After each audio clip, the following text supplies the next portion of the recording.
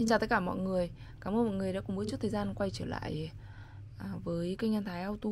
Trong video ngày hôm nay à, em đang cầm trên tay để giới thiệu tới mọi người một sản phẩm đó chính là motor quạt gió dàn nóng của uh, máy xúc cát Komatsu.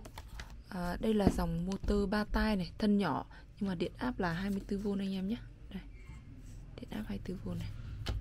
Đấy.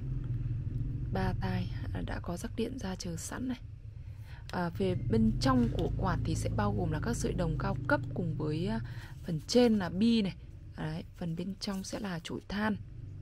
Đây là trục trục của quạt. Chúng ta về chúng ta chỉ cần đưa cánh vào là xong.